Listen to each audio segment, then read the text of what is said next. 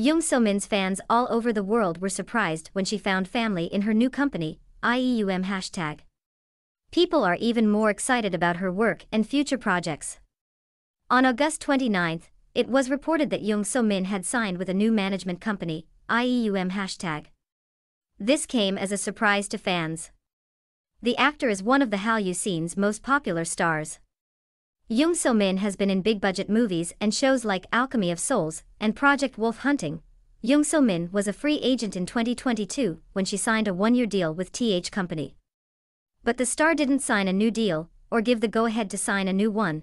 In August, the actress signed with the well known company IEUM hashtag, which is home to stars like Jun Ji Hyun, Seo Ji Hye, Kim So Hyun, and more who have been praised by critics. With this change, Jung So Min's career is likely to enter a new phase, with new opportunities for partnerships, foreign projects, and big budget films. Jung So Min's new agency, which is known for taking care of its stars, will give her all the help she needs.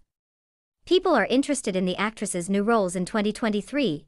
In the new love comedy, 30 Days, Jung So Min and her 20 co star Kang Ha Neul play a couple for the second time. In the movie, the two well known stars play a married couple who are about to split up. Na Ra is played by the nerdy but snarky Jung So Min. Kang Ha Neul plays Na Ra's biggest love, Jung Yeol, who is a handsome young man, but because of different things, they decide to go their separate ways. Things take a shocking turn when, 30 days before their divorce, they have an accident and lose their memories. People are interested and curious about 30 Days because it has a unique take on dating and marriage. Not only that, but the movie also helps partners who are going through the same hard time in their marriage. Find out why Jung So Min and Kang Ha Neul broke up, and how they deal with the sudden changes on October 3rd in theaters all over the country. This is it for this video.